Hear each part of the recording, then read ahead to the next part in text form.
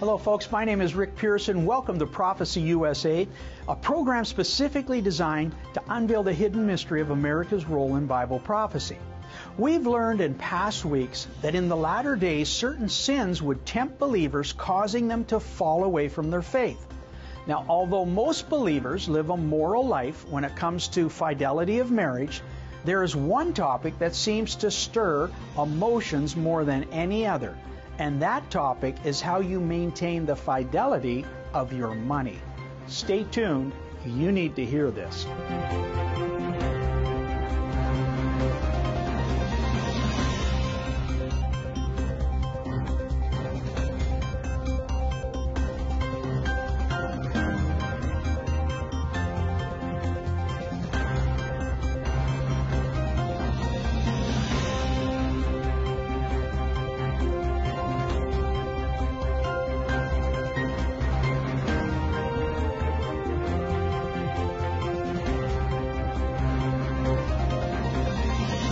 Welcome back, folks. By this time in our teaching, everyone should know that the root word of Babylon is Babel, which means confusion. From previous programs, we've learned that there are seven types of end time believers that would be affected by that spirit of confusion. Now, these believers would have to overcome certain sins in order to be worthy and chosen and rewarded as the bride of Christ. So let's review their descriptions and at the same time, Let's give ourselves a checkup from the neck up to see if we identify with any of them. Believers of Ephesus dealt with not prioritizing God as the first love in their life. Jesus summed it up this way Love God with all your heart and do unto others as you would have them do unto you. If you pattern your life after this protocol, you will fulfill all his commandments. Now, believers of Sardis missed the mark by doing good works opposed to doing God's works. Scripture says Jesus was moved with compassion and went about doing good, healing all who were oppressed of the devil. That same compassion for helping others was missing in the believers of Sardis. Believers in Smyrna were persecuted believers. The Bible promises those who are persecuted to hold on because great rewards are coming your way. Believers in Pergamos were struggling with the issues of sexual immorality. They were seduced to follow the herd of modern day Babylonian hedonism instead of the word of biblical moral protocol. Meanwhile, Thyatira, like Pergamos, allowed a Jezebel church leadership to seduce them not only into immorality, but dealing with unwanted children by literally sacrificing them to Baal in the hope of financial blessing. But perhaps the most common sin that all believers would be forced to deal with in the end times occurred in the believers of Laodicea. Now, these believers had an issue with something that everyone today deals with on a daily basis money. Now, money's not the problem within the context of Laodicea, but rather how the believers prioritize their money. Now, you may think your money does not matter to God, but Scripture states much differently. Listen to this. In the earliest days of Bible times, man did not have the medium of exchange we refer to today called money. Instead, they had the barter system they would trade with each other animals, crops, precious stones, or whatever they had of equal value within their substance.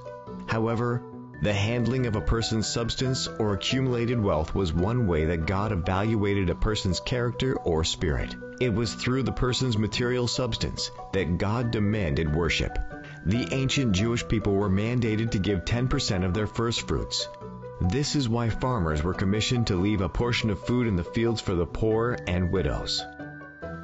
Eerdmans Dictionary of the Bible states, Leviticus chapter 27 verses 30 through 33 establishes that all the seeds from the land and the fruits from the trees belong to God, and a tenth of all herd and flock are holy to the Lord.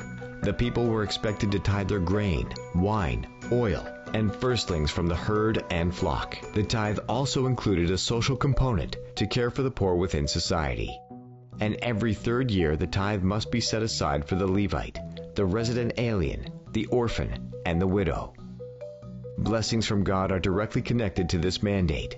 The worshiper is to make all offerings, including the tithe, with joy and happiness. In Genesis chapter 14, the first man ever called prophet, Abraham, defeated his enemies in battle and gave one tenth of his spoils to Melchizedek, the high priest of the Most High God. Immediately after the act of worship, the Lord appeared to Abraham in a vision and told him, Fear not, Abraham, for I am your shield, and your reward shall be very great. It was at that time that Abraham was promised a son who would be heir to the patriarchal Jewish race. Two generations later, Abraham's grandson Jacob chose to participate in his grandfather's covenant with God by declaring, If God will be with me, and will keep me in this way that I go, and will give me bread to eat and raiment to put on, all that thou shalt give me, I will surely give the tenth unto thee. However, the priority of receiving God's blessings was to establish oneself in a preferred position between God and man, so that God could use Abraham and his descendants to release his blessing to others. Blessing others is what God calls righteousness in Hebrew protocol. The Hebrew word for righteousness is tzedakah, which literally means acts of loving kindness. According to many rabbinical and Christian theologians, the giving of tithe or first fruits of one's wealth was to prevent the Jewish people from becoming greedy and materialistic and allowed them to flow in acts of loving kindness to those less fortunate. They were blessed so they could be a blessing to the world. However, the Church of Laodicea, it seems, has a problem when it comes to the handling of money. Welcome back, folks. You know, I find it fascinating to see that from the very beginning of man, even Adam had a mandate from God to work and produce substance for his existence. From that first commandment, God would transcend his acts of loving kindness to offer provision, guidance, and direction to whoever would call upon his name. In the sweat of thy face shalt thou eat bread till thou return unto the ground, for out of it wast thou taken. We've already learned in previous programs that God would not only provide covenant with the nation of Israel, but to any nation or person who wanted to participate in that relationship. That covenant was based on man's free will to participate in it. Now, the covenant protocol woven through Scripture was also placed into the financial judicial system of North America. The Progressive Tax Code helped finance government social programs as well as the prosperity incentives of capitalism, which are based on giving and receiving. But as everyone knows, that concept of giving and receiving has been compromised over the years by corruption and greed. People no longer want to give in order to receive. They just want to receive, and they will lie, steal, embezzle, defraud, do anything for personal gain, which of course God calls sin. Sin is termed in Scripture as missing the mark. So the most common denominator within the church for missing the mark is found in the sixth group of believers Jesus called the Church of Laodicea. And that missing ingredient was tied directly to money and how people were abusing its purpose. For I know thy works, for thou art neither cold nor hot. So then, because you are lukewarm, I will spew thee out of my mouth. Because thou sayest, I am rich and have prospered and need nothing, not realizing that you're wretched, you're miserable, you're poor, blind, and naked. Now, to further explain this passage, in the ministry, Jesus told a parable of a rich man. In Luke, he said, The land of a rich man produced plentifully. And he thought to himself, I will tear down my barns and build larger ones, and store my grain and my goods. And I will say to myself, for many years, relax, eat, drink, and be merry. But God said, You fool, tonight thy soul is required of thee, and the things that you have prepared, whose will they be? So is the one who lays up treasure for himself and is not rich towards God. Now, it's interesting in this passage, that when referring to the rich man, the Bible uses the word plusias, which the Greek English dictionary defines as rich or well to do. It's the same word used when the Laodicean believer says, I am rich. However, when this same scripture refers to being rich towards God, it uses the Greek word pluteo, meaning not only to prosper, but also to be generous. This is the same word used when the Laodicean believer says, I have prospered. He's saying, I have been generous. Of course, Jesus explains to the Laodiceans that they were neither. Perhaps this story will further explain the difference between these two definitions of the word rich. There was a German industrialist years ago, before World War II, who had built a manufacturing company and was very successful. He and his wife decided to use some of their money to buy an organ for the church. Shortly thereafter, World War II broke out, and his factory was totally bombed, leaving he and his wife absolutely devastated financially. That Sunday, they visited the small church that they attended and grief stricken and without almost any words to say, the husband sat in the pew staring at the organ. And then, after several minutes of silence, he turned to his wife and he said, The only thing that we've kept is what we gave away. You know, being rich towards God is not an effort on God's part, it's an effort on our part by being generous with the blessings that He's already given us. So, with regards to the church of Laodicea, it, appear, it appears that Jesus is talking to believers who are healthy, happy, financially sound in their own minds, but they are like the rich young ruler. They are not rich or generous towards God. They do not recognize God nor honor His blessings by using a portion of their first fruits to bless others. Now, obviously, this group of believers believe in the covenant of salvation towards God, but they have not participated in the financial responsibilities, empowering the full benefits of that covenant. Now, in regard to the New Testament believers' approach towards God and money, Scripture is very clear as to what our priorities should be. John says God wishes above all things that we prosper and be in health, even as our soul prospers. Now, this verse prioritizes that the most important asset you have is your soul, not your material assets. Remember, Deuteronomy 18 said, Remember the Lord your God, for it is He who gives you power to get wealth, that He may establish His covenant, and He establishes it through you. But what exactly is that covenant? Paul taught us in Romans 11 that through Christ we are grafted into the Jewish family by having our hearts circumcised. He then further states the blessing of Abraham may come upon the Gentiles through Jesus Christ that we might receive the promise of the Spirit through faith.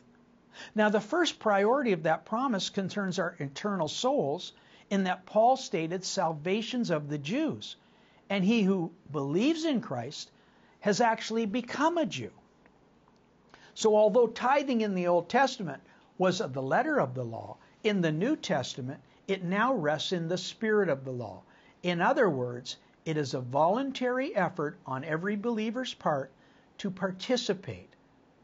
To not tithe means you will not participate in the blessings, but to tithe means you will initiate a divine reciprocity between you and God, reciprocity means giving and receiving. Now, according to Scripture, the richest and wisest descendant of Abraham was King Solomon, who reigned in approximately 1000 BC. However, King Solomon never had a gas furnace, air conditioning, electricity, never had a microwave oven, an electric stove, or hot and cold running water. He never spoke on a cell phone, texted a friend, or surfed on the internet. That technology has all been invented within the last hundred years. Yet today, in North America, we have all these things, and most people complain that they don't have enough. And some even protest against the one percenters who have even greater wealth than they do. Now, in many regions of the world, uh, people beg for food, while we in North America pay other people to help us lose weight. What we call poor in America lives within the top 14% of the world's richest people. In other words, 86% of the world has less than 99% of us living in North America. Do you think it's possible that in the last days the Church of Laodicea could be found in the richest country in the history of the world? And we already know that the richest country in the history of the world is prophesied to be Babylon the Great. And Babylon the Great appears before the New World Order comes into power. Now, is it possible that the falling away of the church Paul spoke about could have anything to do with how we use our money? Are the majority of Christians in North America rich within themselves and not rich or generous towards God? Now, according to a recent survey in Christianity Today, less than 10% of Christian families tithe. Tithers underrate underwrite almost 90% of the church's expenses and outreach ministries. Are 90% of church members missing the mark when it comes to stewardship of their finances? Do they represent the modern day church of Laodicea? Corinthians says that God places seed in the hand of the sower and multiplies the seed sown and increases the fruits of your righteousness or acts of loving kindness. Deuteronomy said God gives you power to get wealth, but unless some of that wealth is sown or given into other people's lives, it cannot bear the acts of loving kindness or righteousness that Jesus taught us. The Old Testament principle of tithing is a common thread that runs through the first book of Genesis and right through to the last book of Malachi. Abraham, the father of our faith, sets an example, showing us that the first fruit portion to God was 10% or a tithe. 1 Corinthians, Paul warns us there's a judgment day when each one's works will be tested by fire. If the work survives the fire, he will receive a reward.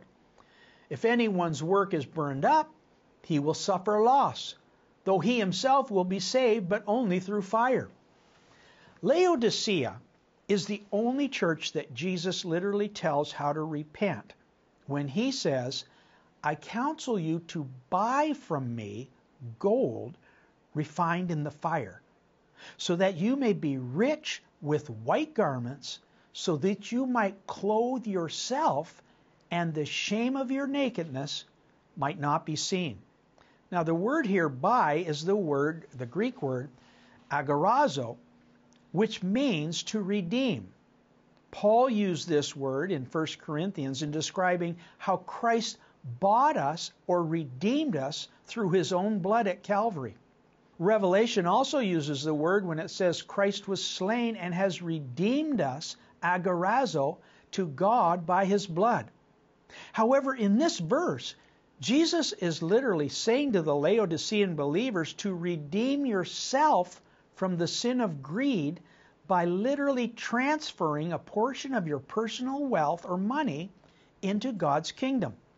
Now, according to Jesus, this is the only way Laodicean believers will become rich in God.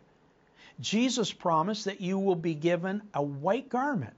And according to 2 Corinthians 9:10, you will increase the fruits of your righteousness or acts of loving kindness. For he that ministereth seed to the sower, both minister bread for your food, and multiply your seed sown, and increase the fruits of your righteousness.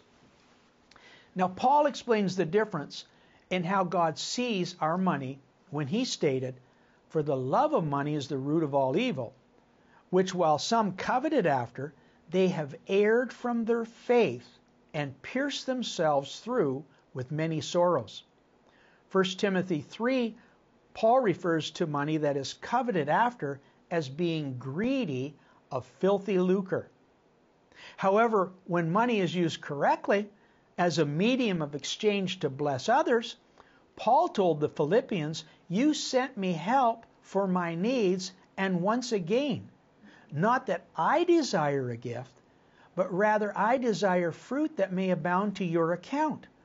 Now he was talking about a heavenly account.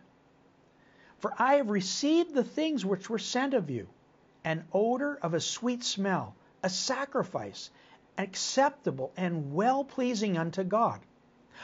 Paul calls money greedy, gained as filthy lucre. But if money is used to minister to others in God's eyes, it becomes an odor of a sweet smell, a sacrifice acceptable and well pleasing to God. Now, several years ago, I received a phone call from my alma mater, Oral Roberts University. I was 32 years old at the time and had been in business for over nine years since my graduation. And at the time, the university was heavily involved in medical mission outreaches to third world nations. They were looking for alumni to volunteer their time and their money on the Board of Regents to assist in that initiative. After pondering the request, I realized that I had grown weary of well doing. I was a believer in Christ, but I was offering very little personal time and financial support to fulfill the commission in spreading the gospel into all the world. A tremendous conviction came upon me as I looked at the many blessings that God had given me. At the age of seven, I'd prayed the sinner's prayer and received Christ as Lord and Savior. At 18, God gave me an incredible experience as in the day of Pentecost. Yet, 14 years later, I had friends who were giving their lives as pastors, missionaries, evangelists, etc. But what was I doing? They were giving their lives to help others, and here I was reaping the rewards of a successful business and not even giving a 10% tithe or my first fruits to God's kingdom. Now, the prophet Malachi explained perfectly where I was in my personal life. Even from the days of your father, you are gone away from mine ordinances and not kept them. Return unto me, and I will return unto you, said the Lord of hosts. But you say, Wherein shall we return? Will a man rob God? Yet ye have robbed me.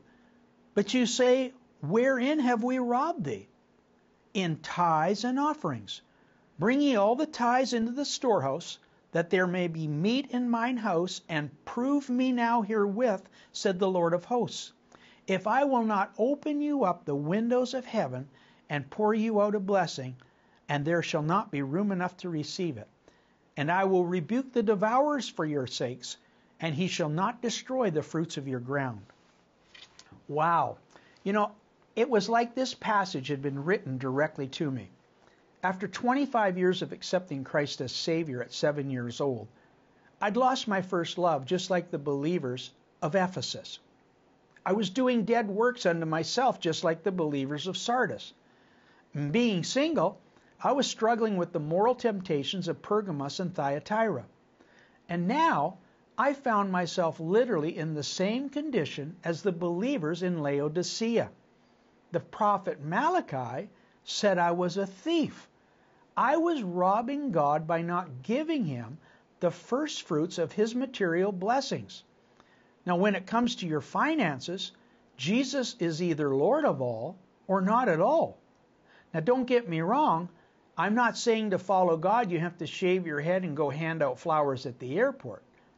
But a tenth of my substance was sitting in a bank account and it was not much to ask if I could use that to help starving children in a third world country. So after much prayer, I decided to take one tenth of my net worth and I gave it to medical missions. Once I released those funds, over the next seven days, something supernatural began happening to me that happened to two men in the Bible. According to Acts 10, Cornelius was a Roman centurion who one night saw a vision, an angel coming to him, calling out his name, and Cornelius was afraid. And the angel said, Fear not, thy prayers and thine alms are come up for a memorial before God, Cornelius. Now, in this passage, Cornelius' actions of giving and off of giving alms and offerings opened the windows of heaven and God poured out to him revelation knowledge with the angel instructing him to go to Peter who would explain God's plan of salvation. Now, previous to this time, Jesus asked Peter, Who do men say that I am? And Peter responded, Thou art the Christ, the Son of God. Jesus said, Flesh and blood has not revealed this unto you, but my Father who art in heaven. Now, similar to Cornelius, after I released my tithes and offerings to God, I received a prophetic insight or revelation knowledge concerning things to come in North America. I will not go into further detail on that event, but the written word that we are teaching at Prophecy USA confirms the spoken word I received at that time. And I can assure you that flesh and blood did not reveal this unto me. Now, before this experience, I had no idea of the eight providential nations we've learned in Scripture, and certainly not the hidden mystery of America's role in Bible prophecy. To my knowledge, our interpretation of the book of Revelation has not been taught before with this depth of Scripture. However, no other nation in history has ever met every description of Babylon the Great before, like America is presently fulfilling right now. The richest nation in the history of the world houses all seven churches described by Jesus. The sins, the immorality, the Baal worship, the wealthy lifestyle of believers are all abundantly transparent. In fact, 90% of believers in America meet the description of the church of Laodicea who refuse to participate financially with first fruit offerings to God's kingdom. Now, if you find yourself falling short of any of the sins found in these churches, it's not too late to make a change. You can follow my lead. Dust off your Bible, Examine yourself, your morals, your priorities, and then do something about it. The next time you go to the fridge, eat a meal, dine in a restaurant, ask yourself, have I given to the Lord what is His? Have I transferred a portion of my first fruit blessings into God's eternal kingdom? Remember, you can hear directly from God. You don't need anyone to tell you where, when, or who you should give tithes and offerings to his kingdom. God has given you the power to get wealth. He will also give you the power to distribute his first fruits wherever they need to be planted. And scripture foretells us that there is a tremendous mystery, a blessing coming to those who dwell in Babylon the Great. While Jesus warns Pray that you might be worthy to escape. But escape what? That will be explained next week as we unveil once again the hidden mysteries of America's role in Bible prophecy. This is Prophecy USA. My name is Rick Pearson, and I'm reminding you Jesus is alive and he's coming back much sooner than many people think. See you next week on Prophecy USA. Shalom.